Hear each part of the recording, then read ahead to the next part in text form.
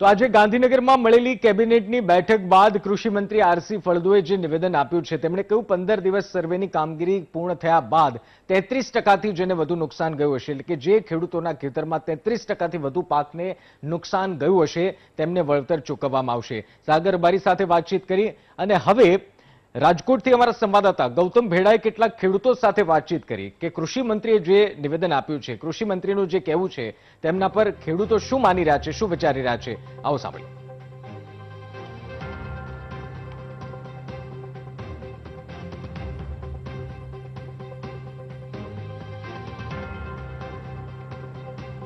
તો કેટલીક માહિતી પહેલા સમજી લઈએ, ત્યારબાદ ખેડૂતો શું કહે છે તે પણ આપને અમે જણાવીશું. અઢારસો રૂપિયા પ્રતિ હેક્ટર બારમાસી પાક માટે અઢાર હજાર માફ કરશો. કેટલું વળતર મળી શકે છે? છ હજાર આઠસો રૂપિયા પ્રતિ હેક્ટર બિન પિયત વાવેતર માટે જે સાગર રબારી જણાવી રહ્યા હતા, તેર હજાર પાંચસો રૂપિયા પ્રતિ હેક્ટર પિયત વાવેતર માટે છે. બિન પિયત માટે છ હજાર આઠસો છે. તો અઢાર હજાર રૂપિયા પ્રતિ હેક્ટર બારમાસી પાક માટે ખેડૂતોને વળતર મળવા પાત્ર છે. તો આ ત્રણ અલગ અલગ જે અમે આપને દેખાડ્યું. પરંતુ સૌથી મોટો સવાલ કે ખેડૂતોને વળતર મળશે ક્યારે? સૌથી મોટો બીજો સવાલ કે આ સર્વેની કામગીરી શું પંદર દિવસમાં પૂર્ણ થઈ શકશે ખરી? અને ત્રીજો મોટો સવાલ કે શું સરકાર અતિ વરસાદથી શું વાકેફ નથી? શું ચિત્ર સ્પષ્ટ દેખાઈ રહ્યું નથી? તો હવે ખેડૂતો શું કરી રહ્યા છે? અમારા સંવાદદાતા ગૌતમ ભેડાએ ખેડૂતો સાથે વાતચીત કરી. શું કહેવું છે ખેડૂતોનું? આવો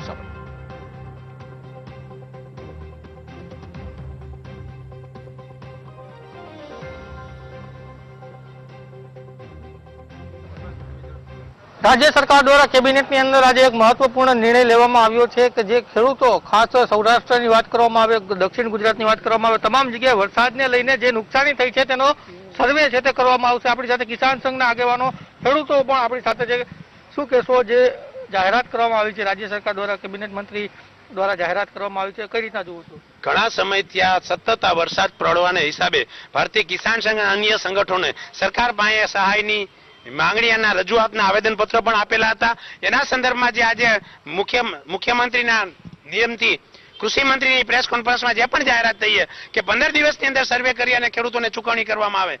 આ વાત વ્યાજબી નથી, એનું એક જ કારણ છે કે કરોડોના લાખો રૂપિયાના ખર્ચે બનેલો રોડ તૂટી ગયો તો દરેક ખેડૂતને નાની મોટી નુકસાની થયેલી છે. તો સર્વે કરવા કરતા દરેક ખેડૂતોને સહાય આપવામાં આવે એવી અમારી માંગણી છે. સૌરાષ્ટ્રની અંદર તો વધારે પડતું નુકસાન થયેલું છે. આ સર્વે કરવા જાતાય કે એને ખ્યાલ આવશે. કારણ કે ટોટલી કઠોળ ફેલ થયેલું છે અને તલ પણ ફેલ થયેલો છે. મગફળી ઊભી છે, ઉપરથી સારી છે, પણ નીચે એના માલ છે એ હળી ગયો છે. પોપટાની અંદર ભોગ આવેલું છે. એટલે આ સર્વે કરવા કરતા બધા ખેડૂતોને સહાય આપે એવી અમારી માંગણી છે. શું કહેશો આપ પણ એક ખેડૂત છો? કઈ રીતના જુઓ છો આજના નિર્ણયને આજના જે જાહેરાત છે તેને?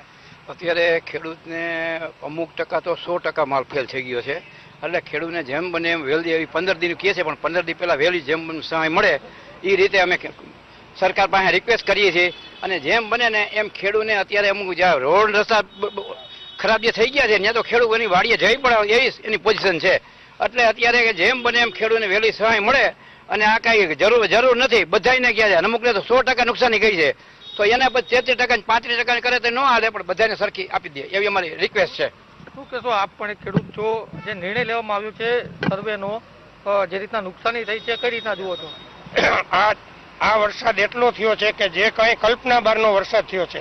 અને આવી નુકસાનીના સમયમાં ખેડૂતને જો સરકાર અત્યારે સહાય ન કરે કે ગલાતલા કરે કે એમાં સમિતિ નિમે અને એ સર્વે કરે, એ સર્વે કરવાની કોઈ આવશ્યકતા જ નથી. જે ખેડૂતો તનતનવાર પાક વાવ્યો છે, ફેલ ગયો છે, હજી ઊભો છે, એ પાક પણ ફેલ જેવો જ છે. તો વહેલામાં વહેલી તકે ખેડૂતોને આ સહાય ચૂકવાય એવું અમે ઈચ્છી રહ્યા છીએ.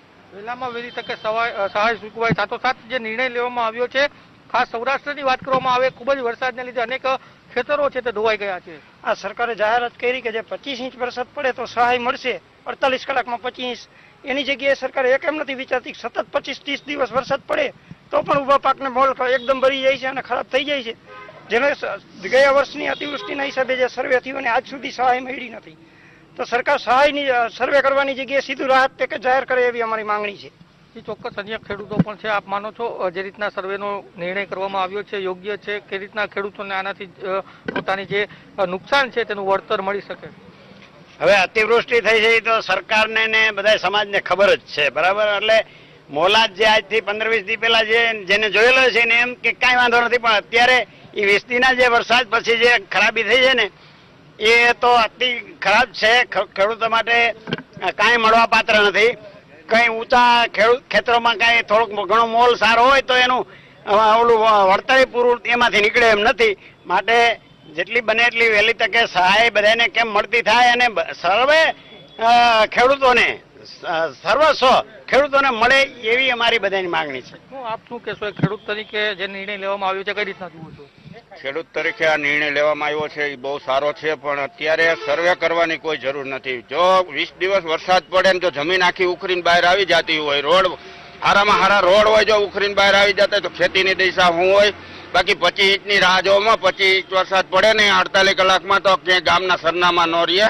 એટલે સરકારને જો સહાય દેવી હોય તો સીધી દેવા માંડો. બાકી અત્યારે આ કોઈ સર્વે કરાવવાની કોઈ જરૂર જ નથી. શું કહેશો આપ યુવાન ખેડૂત તરીકે આ નિર્ણયને કઈ રીતના જુઓ છો? સરકારે જે તાત્કાલિક સહાય સર્વે કરીને સહાયની ચૂકવણી કરવાની વાત કરી, વાત સાચી છે, પણ આમાં બધા ખેડૂતોને આવરી લેવા જોઈએ. કેમ કે અત્યારે જે વરસાદ છે પંદર દિવસથી વરસી રહ્યો સતત, એમાં પાકને ખરેખર નુકસાન છે, તલી જેવા પાક તો સડી ગયા છે. તો અમે અમારી માંગ એવી છે કે તમે એને બધા ખેડૂતને આવરી લ્યો અને બજેટમાં કંઈક ફેરફાર કરી અને ખેડૂતોને યોગ્ય સહાય મળે એવી અમારી માંગ છે. ચોક્કસ રાજ્ય સરકાર દ્વારા કેબિનેટની અંદર આજે નિર્ણય લેવામાં આવ્યો છે. સર્વેનો જે નિર્ણય છે તેને ખેડૂતો આવકારી તો રહ્યા છે. સાથોસાથ તેમની એક માંગ પણ છે કે આ સર્વેની જગ્યાએ તમામ ખેડૂતોને રાહત આપવામાં આવે, કારણ કે આ વર્ષે પડેલા વરસાદને લીધે કોઈ પણ ખેડૂત બાકાત નથી કે જેને નુકસાની ન થઈ હોય. કેમેરા પર્સન ધવલ ગોંડલિયા સાથે ગૌતમ ભેડા, વીટીવી ન્યૂઝ રાજકોટ.